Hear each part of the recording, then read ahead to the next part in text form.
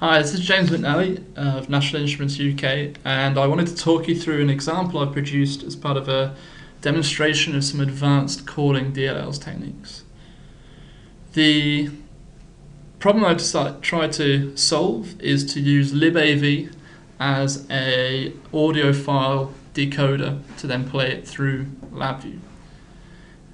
Now, why this is difficult is libav is an example of a DLL that has some very large complex structures as part of its interface. And I wanted to use this to demonstrate a few techniques that we can use to deal with them.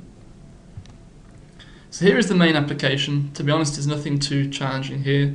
Uh, along the top we have the calls to the DLL encapsulated in sub-VIs and on the bottom here I'm just using the sound APIs to play the decoded frames. If we start at the very beginning in OpenFile we can see the, the initial calls.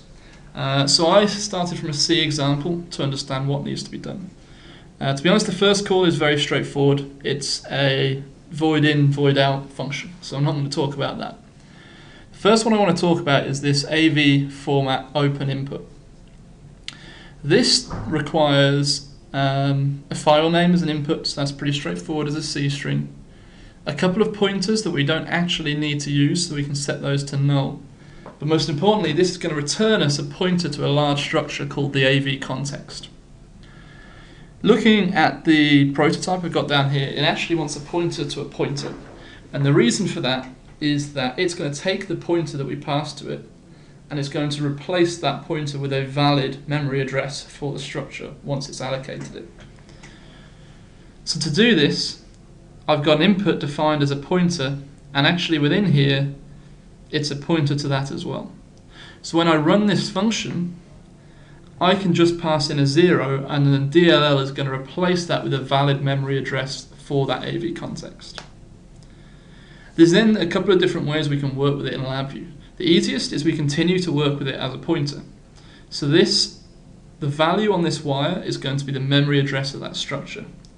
And when I need to use it in another function, like this find streams function, uh, I can pass it as a pointer by value and it will successfully access that. The really hard bit is when you want to start to get the data inside of it. The first way to do that involves creating these large clusters, these gigantic clusters is the phrase that someone described to me.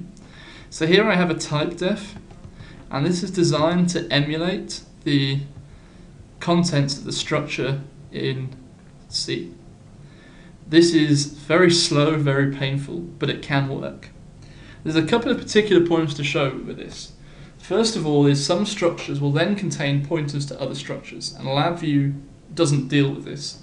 If you try and use a cluster with an array in it, LabVIEW replaces it with a handle. And that's why we're having to use this more complex approach to deal with this cluster. What I've done in this type def is anywhere where there's a pointer, you can see I've put PTR on the end, I've just replaced that with uh, an integer value.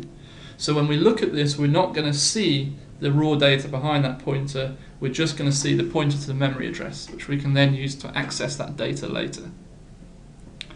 The other thing, the other challenge was there's this file name element. In C, this is defined as a 1024 element um, character array and it will actually be in line with the cluster. So what I've had to do is define this as a 1024 element cluster, uh, which you can see at the bottom here. Don't get me wrong, I wrote a scripting VI to generate that. Um, this is the only way because if I put an array or a string in there, it'll get replaced with a handle. So I had to create an equivalent data type of the same size as that string. So to actually read that data,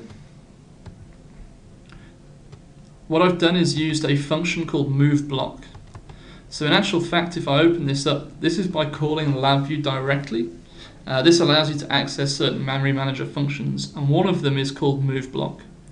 So you give it a pointer to a memory address, and then a destination, also a pointer, and LabVIEW will copy what is at that address into that new destination up to the size that you specify. So what I do is I say to LabVIEW, here's my memory address, which we, we got from the other function. My destination is going to be a cluster, so we can use clusters with DLLs. And by default, LabVIEW will convert this to a pointer. The size is the harder bit. Um, the, the easiest way I found to get this in LabVIEW is actually to flatten a cluster constant to a string and then get the string length, and that'll give us the size of that access. So that gives us a copy of the contents of this directly into LabVIEW. And if I run this quickly,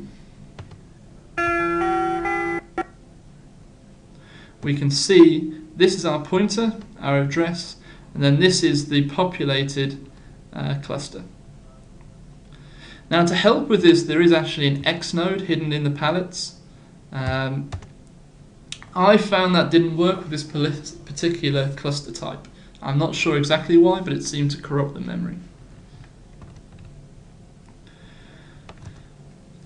So the next thing, we then have to load a codec for this to work with. And this is where things actually got even more difficult.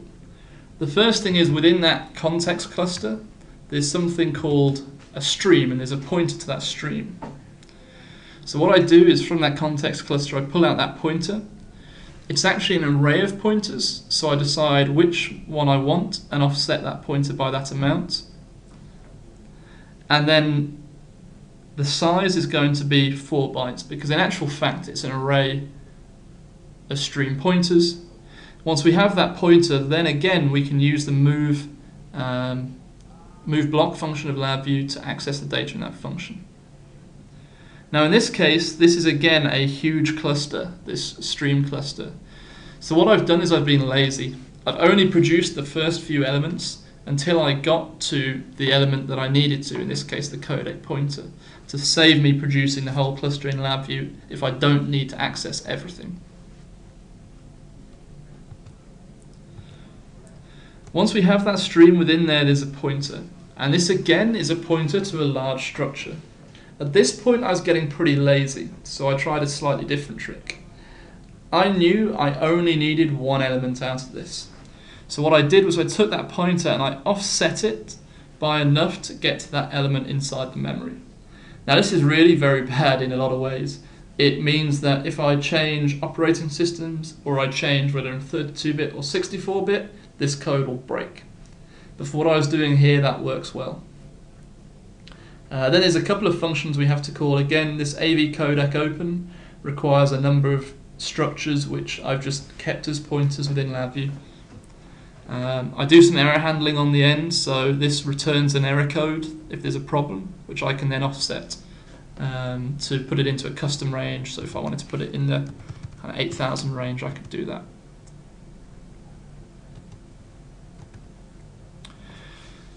Once the codec's loaded, we also have to allocate a frame. Um, again, this is a structure with a pointer, so there's just a function for doing that inside the DLL. To then read each frame out, we have to, first of all, pass to a read frame function a pointer to a data packet. In this case, it assumes you're going to allocate that first. So what I've done is use ds uh, create pointer inside a LabVIEW to create a pointer to a data size of 72. Again, that size may vary by platforms. Um, a better approach would actually be to create this full packet cluster and pass that in directly here because clusters are always passed as pointers. Uh, but again, these are big structures, and uh, so I wanted to try and create as few as possible. Um, then we have a, a call that actually does the decoding, and this returns us a pointer to a frame. Within this frame, it's very similar to uh, the other elements we've seen. So this has a number of data pointers and a number of properties. So I use move block to pull out the frame, data pointers, then I use move block again to pull out the raw data at that location.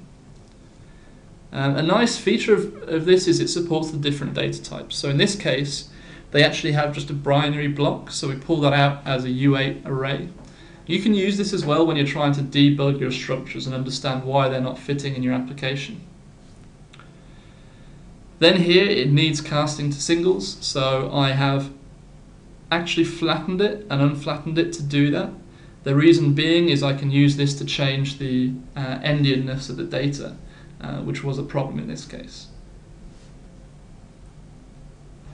And out of there we get our raw channel data, which results in a working MP3.